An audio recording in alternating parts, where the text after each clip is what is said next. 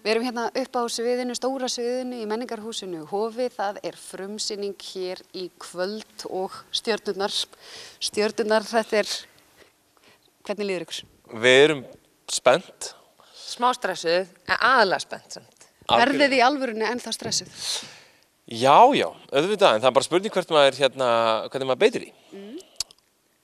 Þið, þið eru aldrei vöna að standa á sviði. Ég verð sko alltaf mjög stressuð. Ég er alltaf sannfærið um leiðist í þessu að ég muni bara deyja í fyrsta skrifun. Ég muni bara fá ma- maður líka brynjar sig alltaf einhvern veginn, en núna höfum við enga brynju. Þú veist, við skrifuðum þetta verk, þetta er allt eitthvað sem kemur frá okkur og við erum búin að vera hérna að æfa það, hann að ef það vantar eitthvað upp á, þá er það bara okkur að kenna og engum öðrum. Að því líka venjulega ef þú veist eitthvað gett heimskulegt í leikriti þá er maður alltaf bara já, en þú veist Shakespeare sagði mér að segja þetta, skilur, mér finnst þetta ekkert snuð. En hvernig er það? Þetta er í rauninni íslenskt leikverk og það eitt af því sem að telst hvað erfiðast í öllum geiminum er að vera fyndin á sviðu og tala nú ekki um þegar það er æft og það er handrit. Getið aðeins, ég hef sagt mig frá því hvernig er það bara, já núna er hérna fólk mættað með glampa í augunum og það ætlar að hlæja því þið ætla að vera fyndin. Við verðum bara að hafa trú á því að það, það verði leið og við erum búin að fá áhörundurinn og það er búin að hlæja djöfulli mikið sko. Þannig að við erum kannski minn stressum það. Maður er bara stressaður um að gleyma einhverju eða renna eða hérna rekast í leikmyndina eða eitthvað Gleima kjaftaði. fyrir búning. Já, er mæta kveik inn á svið og, og þurfa að hlaupa út e, e, ég segi svona, en, en hérna en það var náttúrulega hræðilegt að æfa þetta á tímanbíla því við erum með sama, sömu fimm mannskjöndar í salnum og það eru löngu hættar að hlæða brandurunum og við erum bara farin að spinna upp í þagnirnar hérna, og endanum var Jón Páll leikstjóri að stoppa okkur af og segja bara, herru, nú verðið þið að flytja leikritið sem var keift af ykkur. Þetta er komið gott og við bara, já, fyrir ekki það Þá vorum við bara með eitthvað svona grínu veiki sem er líka svolítið um það sem verkið er, fólk með, sem er fast í gríni, sko.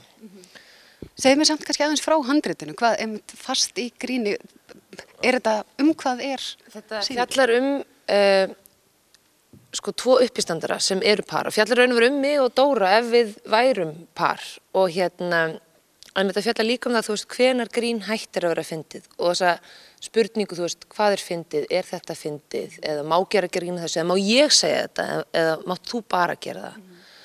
Og þetta er um þessi mörk og líka bara einhvern veginn það er svo þægild að maður tekur þetta inn í persónlegt samband af því þá getur maður líka aðtugað af því að hérna, brandari getur alltaf veist, verið hjálparönd en hann getur líka verið mjög beitt vopn skilur og stungið. Já, verið bara, ég fæl ofbeldisfullt, Já, eineltistæki. og hérna, en, en þetta er náttúrulega þetta er frásögn. Og hérna eh, af, af uppstöndur sem búa saman og það kemur þannig gigg upp á millið þeirra og, og svo lendir annar þeirra í því að segja mjög óviðigandi brandara sem hérna kemst í fjölmiðla og, og við erum semst að fylgjast með svona framvindu. Þetta er ekki bara ég og Saga á sviðinu hérna, að segja óviðigandi hluti og, og reyna að vera svindun og við getum sko, þannig að það er dramatísk framvinda og þetta er leikverk en, en við erum að reyna að nota það sem við höfum lært í uppistandi með samband við áhörundur og svona til, a, til að glæða það enn meira lífi og ég held að það hefnist bara ákvæmlega vel. Húmor er nefnilega alveg brjálaðislega fyrst mér allavega merkilegt tæki af því það er tæki til þess að létta stemmingu, það er líka, getur verið stjórntæki, það getur verið ofbeldistæki, það getur verið velliðunartæki, það getur breytt stemmingu á einu fundi og verið ömulegur í aðeinslegan og, og versa. En þetta er svo vand með farin tæknin sem slík sko, þetta er ekkit, þú ert ekki bara fyndin, þetta er, þetta er, Akkurat, og svo er líka þetta að nota grín er stundum nota svona eins og áfengi að þú- að þú klúrar ykkur bara svona ég, var, ég er að grínast, skilja, þú veist eins og þegar fólk er bara, hvað ég var fullur, sorry. Býtu, hvað, hvað varst það ekki? Ég var bara að grínast, sko, það er vörd sem að þekkir öll, býtu, hvernig, þú skrifaði þessar hæðilegu bloggfæslu þarna, þetta var nú bara grín, ég var nú bara að grínast. þú sagði hann um að væri hálfviti, já,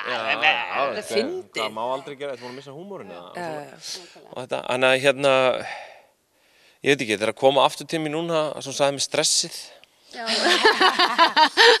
og það er ákveðin mantra sem ég uh, fer yfirleitt með uh, sem er, ég var eins og að gera sjónvarp fyrir Airwaves og hérna Hjaltalín og Páll Óskar voru að fara að stíga á svið saman og ég spyr Högna og Páll Óskar strákar eru þið stressaðir?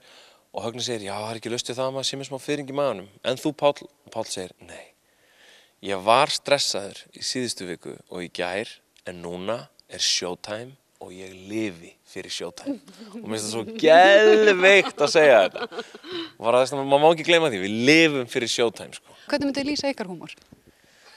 Uh, wow, ok, hérna, ég veit ekki, ég hef, hérna, mér finnst, ég til dæmis, mér finnst ég ofta ekkert vera eitthvað brjóðslega fyndin, eða þú veist, mér finnst ég oft bara vera með einhverjum sniður eða skemmtilegar pælingar og svo kannski líka finnst mér mjög gaman að nota smá svona sjokk-effekt, heldur bara svona raun og veru til þess að aðtuga hvað má segja eða af hverju má ég ekki í alvörunni segja þetta, skilur, hluti sem að, maður hugsar og talar ekkert mikið um.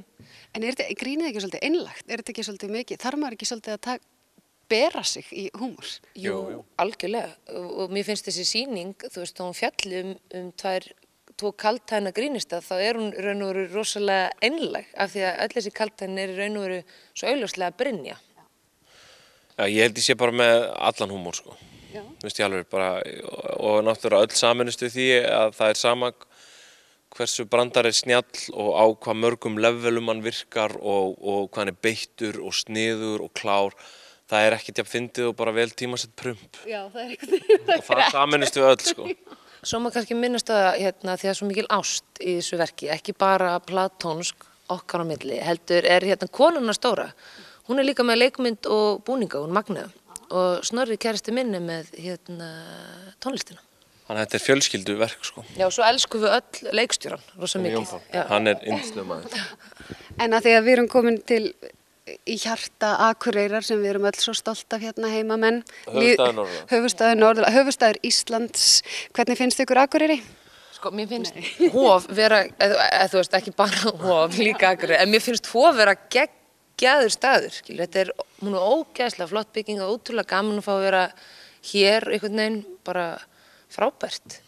Já, sama, ég elska Akureyri og minnst bara að vera fleiri tímar í sólarhenginu minna og ég þurfti að fara aðeins söður út að vinnu núna og ég bara get ekki beðið eftir að komast tilbaka allt þar í fer og svo.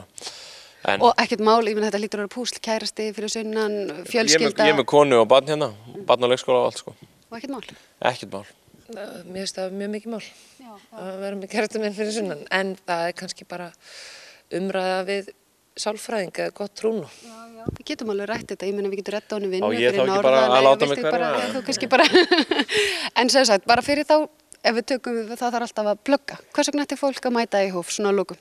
Að því bara, það, Gott hérna, hlæja. það er gott að alltaf læga og við lofum því að fólk mun hlæja hérna. Og það er líka ágætt að pæla í þessu, hvar liggja mörkun í húmór, við erum alltaf að tala um áhlæja þessu, er þetta fyndið. Fínt að sjá það bara alveg svart og hvítu hvar þetta liggur og hérna, því við það bara og þú sér það bara á fólkinu hérna þetta liggur. Og hérna, Svo bara geðvett að fara í leikhús. Já. Maður, fólk tapar aldrei á því. fyrir með þetta glæsilega leikhús og þetta er flott og stór sýning og bara please komið. Líka því við erum flutt hingað, skilja, það væri svo, það væri ömulegt að myndi séðan enginn koma.